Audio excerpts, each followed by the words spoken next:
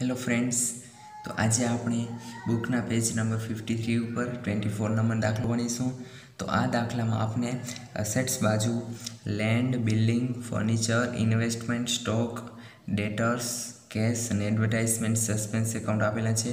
અને લાયબિલિટી બાજુ આપણે capital reserve fund, investment fluctuation fund એટલે રોકાણ વધઘટ ભંડોળ એમ્પ્લોયી પ્રોફિટ શેરિંગ ફંડ એટલે કામદાર, નફાભાગ ભંડોળ, બેંક લોન, ક્રેડિટર્સ અને ડેપ્રિસિએશન ફંડ, બિલ્ડિંગ અને ફર્નિચરનું. એટલે આ આપને આપેલું છે ઘસારા ફંડ. તો ઘસારા ફંડ બિલ્ડિંગ અને ફર્નિચર આપેલું છે તે બિલ્ડિંગ અને ફર્નિચરમાંથી બાદ થશે. તેના પછી ઇન્વેસ્ટમેન્ટ, ફ્લક્ચ્યુએશન ફંડ ઇન્વેસ્ટમેન્ટમાંથી બાદ થશે અને એટલે હવે એસેટ્સ બાજુ land, building, furniture, investment, stock અને અહીંયા ડેટર્સ અને એડવર્ટાઇઝમેન્ટ સસ્પેન્સ એકાઉન્ટ આપણે આપેલા છે, તેમાંથી અહીંયા એડવર્ટાઇઝમેન્ટ સસ્પેન્સ એકાઉન્ટ આપણી એસેટ્સ મિલકત નથી, એટલે આપણે ચોખ્ખી મિલકતમાં તેની ગણતરી નહીં કરી શકીએ. એટલે અહીંયા તેનો ઉલ્લેખ કરવામાં નહીં આવે એડવર્ટાઇઝમેન્ટ સસ્પેન્સ એકાઉન્ટનો અને લાયબિલિટી બાજુ કેપિટલનો ઉલ્લેખ કરવામાં નહીં આવે અને રિઝર્વ ફંડનો ઉલ્લેખ કરવામાં નહીં આવે. અહીંયા કેપિટલ અને રિઝર્વ ફંડ અને તેના પછી આપણે એક હવાલામાં અહીંયા કીધેલું છે કે પહેલાં હવાલામાં કીધેલું છે કે જે અતુલ્ય ભારત લિમિટેડ જે કંપની ખરીદનારો છે તે તેના લાયબિલિટીમાં જે ડેટર્સ અને ક્રેડિટર્સ છે તેનો ઉલ્લેખ કરશે નહીં. એટલે આપણી જે મિલકતમાં જે ડેટર્સ છે અને આપણી જે લાયબિલિટીમાં ક્રેડિટર્સ છે તે તેને ઉલ્લેખ કરશે નહીં. એટલે તેની પણ અહીંયા ગણતરી નહીં આવે. તો અહીંયા ડેટર્સ અને ક્રેડિટર્સ પણ નહીં આવે. તો હવે આપણી એસેટ્સમાં આ પાંચ વસ્તુ અને અહીંયા કેશ અને લાયબિલિટીમાં અહીંયા એમ્પ્લોય પ્રોફિટ શેરિંગ ફંડ અને બેંક લોન આવશે. આ બંને તો અહીંયા બિલ્ડિંગ અને ફર્નિચરમાંથી બાદ થઈ જશે. તો હવે આપણે એની એન્ટ્રી કરીએ. તો સૌપ્રથમ અહીંયા આપણી અસેટ્સ બાજુ જમીન, મકાન ફર્નિચર રોકાણ સ્ટોક અને રોકડ. તો અહીંયા આપણે જમીનના અહીંયા બે લાખ કીધેલા છે પણ તેના માટે એક હવાલો આપણે કન્ડિશન આપેલી છે કે અહીંયા જમીનના આપણે પાંચ લાખ રૂપિયા લેવાના છે. તો આપણે તેની બુક વેલ્યુ આપે, પાંચ લાખ લખીશું અને તેના પછી મકાન. મકાનના આપણે રકમમાં અહીંયા બે લાખ ચાલીસ હજાર દીધેલા છે, તેમાંથી અહીંયા એના ચાલીસ હજાર બાદ કરવાના છે ઘસારો. તો ઘસારો બાદ કરીને તેની બુક વેલ્યુ આવશે બે લાખ અને તેના પછી ફર્નિચર તો ફર્નિચરના આપણે પંચોતેર હજાર દીધેલા છે અને પંચોતેરમાંથી પચીસ હજાર ઘસારો બાદ થશે. તો આવશે પચાસ હજાર, તેના પછી રોકાણો. રોકાણો આપણે સિત્તેર એંસી હજાર આપેલા છે. તેમાંથી અહીંયા ઇન્વેસ્ટમેન્ટ ફ્લક્ચ્યુએશન ફંડ બાદ થશે દસ હજાર, એટલે આપણા રોકાણોની બુક વેલ્યુ આવશે સિત્તેર હજાર, તેના પછી સ્ટોક એક લાખ પચીસ હજાર આપને અહીંયા સ્ટોક એક લાખ પચીસ હજાર દીધેલો છે અને રોકડ ત્રીસ હજાર દીધેલી છે. તો સ્ટોક એક લાખ પચીસ હજાર અને રોકડ ત્રીસ હજાર. તો ટોટલ આવે છે નવ લાખ પંચોતેર હજાર. આપણી છે આ ટોટલ મિલકત. તેમાંથી આપણા દેવા બાદ કરીશું તો આપને ચોખ્ખી મિલકત મળશે. તો અહીંયા આપણા દેવામાં આવે છે સૌ પ્રથમ એમ્પ્લોય પ્રોફિટ શેરિંગ ફંડ પચીસ હજાર અને બેંક લોન એક લાખ પંચોતેર હજાર. આ બંનેની જ ગણતરી કરવાની છે. આ બિલ્ડિંગ અને ફર્નિચર બાદ કરી નાખ્યા. ક્રેડિટર્સની ગણતરી કરવાની નથી અને કેપિટલ અને રિઝર્વ ફંડની પણ ગણતરી નહીં થાય અને ઇન્વેસ્ટમેન્ટ ફ્લક્ચ્યુએશન ફંડ બાદ કરી નાખ્યું છે. તો હવે આ બે બાકી રહ્યા છે, પચીસ હજાર અને એક લાખ પંચોતેર હજાર. કર્મચારી નફાભાગ ભંડોળ એમ્પ્લોય પ્રોફિટ શેરિંગ ફંડ પચીસ હજાર અને બેંક લોન એક લાખ પંચોતેર હજાર. તો આપણી જે લાયબિલિટી છે તે બે લાખ આવી જશે. તો હવે આપણે ચોખ્ખી મિલકત શોધવા માટે કુલ મિલકત માઇનસ કુલ દેવા કરીશું. Net asset is equal to total liability માંથી આપણે જેટલી આપણી છે એસેટ્સ છે બાદ કરીશું. તો અહીંયા નવ લાખ પંચોતેર હજાર આપણી ટોટલ ટોટલ એસેટ્સ છે. તેમાંથી આપણી ટોટલ લાયબિલિટી છે બે લાખ. તો બાદ કરીશું તો આપણે ચોખ્ખી મિલકત મળશે સાત લાખ પંચોતેર હજાર. અને આ રકમમાં આપણે ખરીદ કિંમત શોધવાની નથી. આપણે ખરીદ કિંમત શોધવાથી પહેલાં આપણે અહીંયા ગુડવિલ એટલે આજે આપણી પાઘડી આપણે શોધવાની રહે છે ત્રીજા સ્ટેપમાં. તો એક લાખ પચીસ હજારથી આપણે પહેલેથી જ આપેલી છે. એટલે આપણે ખરીદ કિંમત હવે શોધવાની જરૂર નહીં પડે. આપણે પાઘડી શોધેલી આપી દીધી છે. તો પાઘડી આપણે આપેલી છે. તો પાઘડીની કિંમત એક લાખ પચીસ હજાર દીધેલી છે તે લખી નાખીશું. તો પાઘડીનું સૂત્ર હતું ખરીદ કિંમત માઇનસ ચોખ્ખી મિલકત. તો પાઘડી બરાબર એક લાખ પચીસ હજાર અને ખરીદ કિંમત આપને આપેલી નથી એટલે ત્યાં ખરીદ કિંમત જ આવશે અને ચોખ્ખી મિલકત આપે હમણાં સુધી સાત લાખ પંચોતેર હજાર. તો આ માઇનસ છે તો બરાબરની લેફ્ટ બાજુ આવી જશે એટલે પ્લસ થઈ જશે, તો એક લાખ પચીસ હજાર પ્લસ સાત લાખ પંચોતેર હજાર. તો ખરીદ કિંમત આપને મળશે નવ લાખ. તો આ બિઝનેસની ખરીદ કિંમત છે નવ લાખ. તો હવે આપણે જે ખરીદ કિંમત શોધવાની આવતી હતી, તે આપને નવ લાખ મળી ગઈ છે. તો હવે નવ લાખ કેવી રીતે ચૂકવ્યા રોકડમાં કે ઇક્વિટી શેરમાં કે ડિબેન્ચરમાં તે હવે આપણે જોઈએ. અહીંયા આપણે નવ લાખ જે ખરીદ કિંમત હતી આપણી, તે નવ લાખ આપણે મળી ગયા છે. પણ હવે એમાંથી ઇક્વિટી શેરના કેટલા છે ડિબેન્ચરના કેટલા છે અને રોકડના કેટલા છે, તેની ગણતરી કરવા માટે આપણે તેના હવાલામાં અહીંયા જોઈશું તો આપણે પાંચમા નંબરના હવાલામાં આપણે કીધેલું છે કે પંચોતેરસો ઇક્વિટી શેર સો રૂપિયાના ભાવે લીધેલા છે. તો પંચોતેરસો ઇક્વિટી શેર ગુણ્યા સો રૂપિયાના ભાવે. તો આવે છે સાત લાખ પચાસ હજાર ટોટલ અને તેના પછી છે ડિબેન્ચર. તો ડિબેન્ચર માટે પણ હવાલો છે. તો ડિબેન્ચરના અહીંયા કીધેલા છે કે હજાર ડિબેન્ચર સોના ભાવે. હજાર ડિબેન્ચર સોના ભાવે એટલે ડિબેન્ચરના પણ ટોટલ રૂપિયા આવશે હજાર ગુણ્યા સો તો આવશે ટોટલ એક લાખ. અને હવે આપણો જેટલો પણ રિમેનિંગ અમાઉન્ટ બચે છે તે બધી આપણી છે રોકડમાં. આપણે અહીંયા રકમમાં આપણે દીધેલું છે કે જે રિમેનિંગ અમાઉન્ટ છે રેસ્ટ ઇન કેશ તે આપણે કેશમાં લેવાની છે. નવ લાખ ટોટલ છે, તેમાં સાત લાખ પચાસ હજાર ઇક્વિટી શેર અને એક લાખના ડિબેન્ચર તો હવે આપણે રોકડમાં તેના પાસેથી પચાસ હજાર લેવાના છે. તો અહીંયા આપણે તેની રોકડ શોધી લીધી, પચાસ હજાર. તેના પછી હવે આવે છે સ્ટેપ ટુ સ્ટેપ ટુમાં આપણે જનરલ એન્ટ્રીસ આમનો જ બનાવવાની રહેશે. સ્ટેપ વનમાં આપણે જેટલી ગણતરી કરી, તેના પછી અહીંયા સ્ટેપ ટુમાં આમનો જ બનાવવાની રહેશે. તો આમનો જ બનાવવા માટે ઉધાર બાજુ જેટલી પણ આપણી મિલકત છે તે મિલકત અને તેમાં એક જ વસ્તુ એડ થાય છે, તે આપણી છે પાઘડી. પાઘડી આપે જે શોધી છે, હમણાં આપણે રકમ આપેલી જ છે, એક લાખ પચીસ હજાર. તે એડ થશે અને જમા બાજુ આપે જે વેન્ડર સસ્પેન્સ એકાઉન્ટ આપે જેટલા પણ રૂપિયામાં ધંધો જે વેચ્યો છે અને ખરીદનારે તે ધંધો ખરીદ્યો છે, તેટલા રૂપિયા અહીંયા વેન્ડર સસ્પેન્સ એકાઉન્ટમાં આવશે. આ બંને એન્ટ્રી જે એક વધારે આવશે. તો અહીંયા સૌપ્રથમ આપણી જે એસેટ્સ છે તેમાં ભાગડી ખાતે ઉધાર એક લાખ પચીસ હજાર રકમ આપેલા છે. તેના પછી જમીન ખાતે ઉધાર પાંચ લાખ આપણે સ્ટેપ વનમાં જે ગોત્યા છે તે જ બધા અહીંયા પુટ કરવાના છે. તેના પછી મકાન ખાતે ઉધાર બે લાખ ફર્નિચર ખાતે ઉધાર પચાસ હજાર, રોકાણો ખાતે ઉધાર સિત્તેર હજાર સ્ટોક ખાતે ઉધાર એક લાખ પચીસ હજાર અને રોકડ ખાતે ઉધાર ત્રીસ હજાર. તેના પછી તે કર્મચારી નફાભાગ ભંડોળ ખાતે જમા પચીસ હજાર, તે બેંક લોન ખાતે જમા એક લાખ પંચોતેર હજાર અને તે વેચનાર ખાતે જમા નવ લાખ. આ નવ લાખ જે તેને વેચનાર ખાતે જે અહીંયા ખરીદ કિંમત નીકળી છે તે અહીંયા લખવાના છે વેચનાર ખાતે નવ લાખ. તો અહીંયા પહેલું સ્ટેપ પૂરું થાય છે. પહેલી આમનોંધ અને પછી બીજી આમનોંધમાં જે વેચનાર ખાતે વેચનારને કઈ રીતે રૂપિયા મળ્યા છે તેની એન્ટ્રી કરવાની છે. તો વેચનાર ખાતે ઉધાર તે ઇક્વિટી શેર ખાતે, તે ડિબેન્ચર ખાતે ને તે રોકડ ખાતે. તો ઇક્વિટી શેરમાં સાત લાખ પચાસ હજાર સુધી આપે, પછી તે ડિબેન્ચરમાં એક લાખ અને રોકડમાં પચાસ હજાર. જે આપણે અહીંયા સ્ટેપ વનમાં જે રકમ આપણે શોધી છે, તે જ અહીંયા આમનોદમાં આપણે પુટ કરવાની છે. તો અહીંયા આપણે બીજા સ્ટેપમાં ઇક્વિટી શેરના સાત લાખ પચાસ હજાર ડિબેન્ચરના એક લાખ અને રોકડના પચાસ હજાર. હવે ત્રીજી એન્ટ્રીમાં રોકડ ખાતે ઉધાર, તે ઇક્વિટી શેર તે જામીનગીરી પ્રીમિયમ. તો અહીંયા આપણે રકમમાં આપણે આપેલા છે કે ટોટલ ઇક્વિટી શેર આપણા છે પંદર હજાર ટોટલ પંદર હજાર ઇક્વિટી શેર અને સો રૂપિયાના ભાવે. પંદર હજાર ઇક્વિટી શેર હતા, તેમાંથી અહીંયા જે ધંધો ખરીદનાર છે, તેને પંચોતેરસો ઇક્વિટી શેર લીધા છે. તો પંદર હજારમાંથી પંચોતેરસો તો અપાઈ ગયા, તો હવે આપણા પાસે પંચોતેરસો બચે છે. પંચોતેરસો શેરના સો રૂપિયા ભાવે અને તેનું આપણે આપને તેનું જે પ્રીમિયમ આપેલું છે તે વીસ ટકા આપેલું છે તો સોના વીસ ટકા થાય વીસ રૂપિયા. તો પંચોતેરસો પંચોતેરસો શેર અને તેના વીસ સો રૂપિયા લેખે તો સાત લાખ પચાસ હજાર અને પંચોતેરસો શેરના વીસ રૂપિયા પ્રીમિયમ લેખે એક લાખ પચાસ હજાર. તો એનો ટોટલ પણ આવે છે. રોકડ ખાતે ઉતાર આપને રોકડા નવ લાખ રૂપિયા મળશે. અને તેના પછી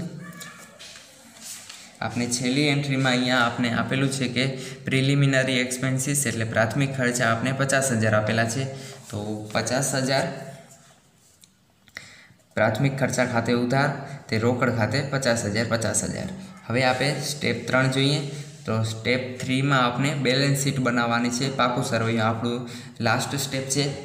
તો અહીંયા લાઇબિલિટી બાજુ જેટલી પણ આપણા દેવા છે તે અને એસેટ્સ બાજુ જેટલી પણ આપણી મિલકત છે તે લખીશું. તો સૌપ્રથમ અહીંયા ઇક્વિટી શેર આપણા ટોટલ હમણાં આપે. અહીંયા ઉપર સાત લાખ પચાસ હજારના ઇક્વિટી શેર આપે. શોધ્યા તે અને તેના પછી આપે જે ધંધો ખરીદતી વખતે સાત લાખ પચાસ હજારના શેર આપે તેને આપ્યા હતા તે અહીંયા તેનો ટોટલ કરવાનો છે. સાત લાખ પચાસ હજાર પ્લસ સાત લાખ પચાસ હજાર તો આવશે પંદર લાખ. તેના પછી ડિબેન્ચર તો ડિબેન્ચર પણ આપણે જે ખરીદ ધંધો ખરીદતી વખતે એક લાખ ડિબેન્ચર ચૂકવ્યા હતા તે. અને તેના પછી જામીનગીરી પ્રીમિયમ, તો જામીનગીરી પ્રીમિયમ પણ આપણે અહીંયા એક લાખ પચાસ હજારનો ઉલ્લેખ કર્યો હતો. તે એક લાખ પચાસ હજાર તેના પછી કર્મચારી નફાભાગ ભંડોળ પચીસ હજાર અને બેંક લોન એક લાખ પંચોતેર હજાર. આ બંને આપણે સ્ટેપ વનમાં શોધી જ લીધા છે અને તેના પછી જમીન, મકાન ફર્નિચર રોકાણ અને સ્ટોકની આગળ આપણે જે પણ રકમ મૂકી છે તે જ પ્રમાણે રકમ મૂકવાની છે પાંચ લાખ, બે લાખ, પચાસ હજાર, સિત્તેર હજાર ને એક લાખ પચીસ હજાર. પણ અહીંયા ખાલી એક રોકડની અને પાઘડીની રકમમાં જ એક વધારાની એક એન્ટ્રી કરવી પડશે. પછી અહીંયા પ્રાથમિક ખર્ચા પણ આપ્યા હમણાં સુધી પચાસ હજાર. તો અહીંયા રોકડની ગણતરી કરતી વખતે આપને એના માટે એક હવાલો આપને અહીંયા રકમમાં કીધેલું છે કે, ત્રીજા નંબરના હવાલામાં કીધેલું છે કે જે ધંધો ખરીદનાર છે, તે કમિશનના બેઝ ઉપર દેવાદાર અને લેણદારને લેશે. દેવાદાર પાસેથી રૂપિયા લેશે અને લેણદારને ચૂકવશે, પણ તેનામાં જે કમિશન આવે છે, તે કમિશનના પાછળ તે લેશે. તો અહીંયા આપણે દેવાદાર પાસેથી જેટલા પણ રૂપિયા તે લેશે તેના પાંચ ટકા અને લેણદારને જેટલા પણ રૂપિયા ચૂકવશે તેમાં જે તે ડિસ્કાઉન્ટ લઈ આપશે તેના પચાસ ટકા કમિશન આપવામાં આવશે. તો તેના માટે આપણે દેવાદાર અને લેણદારનું ખાતું બનાવવાનું રહેશે. તો હવે અહીંયા દેવાદારનું ખાતું બનાવ્યું અને દેવાદારના ખાતામાં આપણે સૌપ્રથમ શરૂની બાકી બ્રોડડાઉન આપણે લખવાની રહેશે. તો શરૂની બાકી આપણે એસેટ્સ બાજુ અહીંયા આપેલી છે એક લાખ વીસ હજાર. તો શરૂની બાકી એક લાખ વીસ હજાર, તેના પછી અહીંયા આપને રકમમાં તેનું રિમેનિંગ અમાઉન્ટ આપેલી છે વીસ હજાર. તેની અહીંયા વીસ હજાર રૂપિયા આપને આપેલી છે આયરી. અહીંયા ડેટર્સના આપને વીસ હજાર રૂપિયા રિમેનિંગ અમાઉન્ટ તે આપને મળશે નહીં દેવાદાર પાસેથી. તો સૌપ્રથમ તે એક લાખ વીસ હજારમાંથી અહીંયા વીસ હજાર તે બાદ કરીશું રિમેનિંગ અમાઉન્ટ અને તેના પછી આવે છે ગાલખાત તો રકમમાં આપને પાંચ ટકાની ગાલખાત આપેલી છે અને દસ ટકાનું જે વટાવ આપવાનો છે તે આપેલો છે. તો એક લાખ વીસ હજાર ટોટલ છે, તેમાંથી વીસ હજાર રિમેનિંગ અમાઉન્ટ બાદ કરી, જે નહીં મળવાની છે તે. તો હવે આપણા પાસે એક લાખ રૂપિયા બચે છે. એક લાખના આપણે ગાલખાદ આપેલી છે પાંચ ટકા. તો એક લાખના પાંચ ટકા થાય છે પાંચ હજાર. તો હવે ગાલખાદના પાંચ હજાર પણ આપને નહીં મળે. તો હવે આપણે મળવાના ચાન્સ છે, પંચાણું હજાર રૂપિયા મળવાના ચાન્સ છે. તેમાંની પણ આપને દસ ટકા ડિસ્કાઉન્ટ આપવાનું છે. તો પંચાણું હજારના દસ ટકા ડિસ્કાઉન્ટ તો આવશે પંચાણુંસો રૂપિયા. તો હવે આપણે જે ડિસ્કાઉન્ટ આપ્યું છે તે પણ હવે આપને નહીં મળે. તો હવે પંચાણું હજારમાંથી પંચાણુંસો પણ આપને હવે નહીં મળે. તો હવે આપને મળવાના દેવાદાર પાસેથી આપને પંચ્યાસી હજાર પાંચસો રૂપિયા મળવાના ચાન્સ છે. તો હવે બંને બાજુનો ટોટલ સરખો થઈ જશે. તો હવે આપણે અહીંયા કેશમાં દેવાદાર પાસેથી પંચ્યાસી હજાર પાંચસો રૂપિયા મળશે. તેના આપને જે કમિશન આપવાનું છે તે પાંચ ટકા કમિશન આપવાનું છે તે આ રકમ ઉપર આપવામાં આવશે પંચ્યાસી હજાર પાંચસો. અને તેના પછી લેણદારનું ખાતું બનાવવાનું છે. તો લેણદારના ખાતામાં આપણે શરૂની બાકી આપેલી છે. લેણદારની આપણે શરૂની બાકી આપેલી છે પંચોતેર હજાર. તો તે શરૂની બાકી પંચોતેર હજાર, તેના પછી અહીંયા વટાવ આપને તેનો આપવાનો છે આઠ ટકા લેખે વટાવ આપવાનો છે, તો પંચોતેર હજારના આઠ ટકા લેખે વટાવ, તો અહીંયા છ હજાર રૂપિયા વટાવ આવશે, તો પંચોતેર હજારમાંથી છ રૂપિયા આઠ ટકા લેખે આપણે વટાવ આપ્યો, છ હજાર રૂપિયા, તો હવે આપને છ હજાર તો નહીં આપવાના રહે, તો હવે આપને લેણદારને ઓગણસિત્તેર હજાર રૂપિયા રોકડ ચૂકવવાના રહેશે, તો અહીંયા આપણે રોકડ ખાતે ઓગણસિત્તેર હજાર લખીશું. અને તેના પછી એક એક વધારાનું ખાતું બનાવવાનું રહેશે. તે છે વેચાણ ઉપલક વેન્ડર સસ્પેન્સ એકાઉન્ટ આ ખાતામાં જે જે ધંધો વેચનાર છે, તેના ખાતામાં જેટલા પણ તેને પ્રોફિટ થયા છે કે દેવાદાર પાસેથી જેટલા રૂપિયા મળ્યા અને લેણદારને ચૂકવ્યા તે બધાનો અહીંયા હિસાબ કરવામાં આવશે. તો અહીંયા દેવાદાર પાસેથી તેને પંચ્યાસી હજાર પાંચસો રૂપિયા મળ્યા છે. તેમાંથી લેણદારને ઓગણસિત્તેર હજાર અને કમિશનની ગણતરી હવે આપણે આગળ કરીશું. તે અને રોકડ જેટલા આવે તેના પાસે બચે છે તે. તો હવે આપણે અહીંયા સૌ પ્રથમ કમિશનની ગણતરી કરીએ અને કમિશનની રકમ અહીંયા મૂકવાની રહેશે. તો કમિશન શોધવા માટે દેવાદાર આપણા પાસે છે પંચ્યાસી હજાર પાંચસો રૂપિયાના. પંચ્યાસી હજાર પાંચસોના પાંચ ટકા લેખે દેવાદારનું કીધેલું છે રકમમાં. અહીંયા આપણે દેવાદાર પાસેથી પાંચ ટકા અને જે લેણદાર પાસેથી જેટલા આપણે ડિસ્કાઉન્ટ લઈ આપશું, તેના પચાસ ટકા. દેવાદાર પાસેથી પાંચ ટકા અને જે આપણે કમિશનમાં જેટલું પણ આપણે ડિસ્કાઉન્ટ લઈ આપશું, તેના પચાસ ટકા કમિશન આપવાનું છે. તો અહીંયા દેવાદારના પચ્યાસી હજાર પાંચસો ઉપર પાંચ ટકા લેખે ચાર હજાર બસો પંચોતેર રૂપિયા અને લેણદારના છ હજાર રૂપિયાનો આપણે ડિસ્કાઉન્ટ અપાવ્યું છે, તો તેના પચાસ ટકા કમિશન. તો ત્રણ હજાર રૂપિયા. તો હવે આ બંનેને ટોટલ કરીશું તો આપને કમિશન મળશે સાત હજાર બસો પંચોતેર રૂપિયા કમિશન મળશે. તે જ આપે કમિશન અહીંયા આપે સાત હજાર બસો પંચોતેર રૂપિયા લખીશું. તો આ કમિશનના પણ તે જે ધંધો ખરીદનાર છે તેને ચૂકવવા પડશે આપને. તો હવે આપણા પાસે નવ હજાર બસો પચીસ રૂપિયા રોકડા બચે છે. તો હવે આ રોકડા અહીંયા નવ હજાર બસો પચીસ રૂપિયા અને લેણદારમાં આપણે રોકડા ઓગણસિત્તેર હજાર અને દેવાદારમાં આપણે પંચ્યાસી હજાર પાંચસો તેમજ આપે આગળ જે આમનોથમાં જેટલા પણ રોકડા રોકડા ચૂકવ્યા અને આપણે બેલેન્સ શીટમાં પણ જેટલા રોકડા ચૂકવ્યા તે બધા બાદ કરીશું. તો હવે જેટલા પણ આપણા પાસે બચે છે તે આપણે બેલેન્સ શીટમાં રોકડ ખાતે આપણે પુટ કરવાના છે. તો હવે આપણે રોકડ ખાતું બનાવીએ. તો રોકડમાં આપણે અહીંયા શરૂની બાકી રકમમાં ત્રીસ હજાર અસેટ્સ બાજુ આપણે આપેલી છે. અને તેના પછી શેર પ્રીમિયમ. શેર મૂડી અને જેનું જે પ્રીમિયમ આવે છે તે બંનેનો ટોટલ કરીને જ મેં અહીંયા નવ લાખ રૂપિયા લખી નાખ્યા છે ડાયરેક્ટ. આપણે જે ધંધો ખરીદનાર છે તેને જેટલા ચૂકવ્યા છે તેને નવ લાખ રૂપિયા તે. અને તેના પછી દેવાદાર પાસેથી આપણે મળે છે પંચ્યાસી હજાર પાંચસો. આ બધી ગણતરી આપણે જે સ્ટેપ વન ને ટુમાં જે કરેલી છે તે જ બધી અહીંયા હવે આપણે પુટ કરવાની છે. જ્યાં પણ આપણે રકમમાં રોકડ ખાતે જમા કે ઉધાર કરેલું છે તે અહીંયા કને તેનું જમા હોય તો ઉધાર અને ઉધાર તો જમા બાજુ લખવાનું છે. અને તેના પછી વેચનાર ખાતે અહીંયા આપે પચાસ હજાર અને તેના પછી પ્રાથમિક ખર્ચા આપને પચાસ હજાર. પછી લેણદાર ક્રેડિટર્સ આપણા ઓગણસિત્તેર હજારના હતા. પછી વેચનાર સસ્પેન્સ એકાઉન્ટ આપણે નવ હજાર બસો પંચોતેર રૂપિયાનું હમણાં જ આપે શોધ્યું તે તો હવે આપણા જે ટોટલ આપણા દસ લાખ પંદર હજાર પાંચસો આપણી રોકડની આવક છે તેમાંથી આપણે આ બધા બાદ કરીશું. વેચનાર, પ્રાથમિક ખર્ચા, લેણદાર અને વેચનાર સસ્પેન્સ એકાઉન્ટ બાદ કરીશું. તો હવે આપને ક્લોઝિંગ સ્ટોક મળે છે. રોકડનો આઠ લાખ સાડત્રીસ હજાર બસો પંચોતેર રૂપિયા. તે આપણે બેલેન્સ શીટમાં દર્શાવીશું.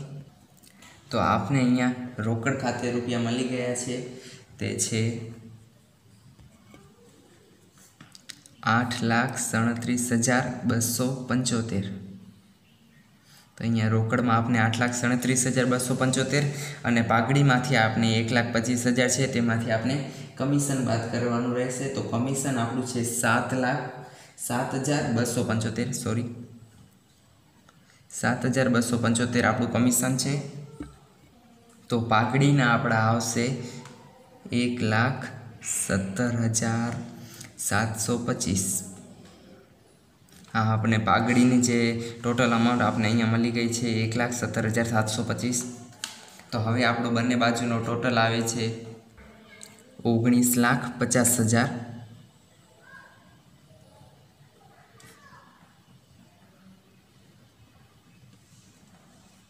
તો અહીંયા જ આ દાખલો પૂરો થાય છે. Thank you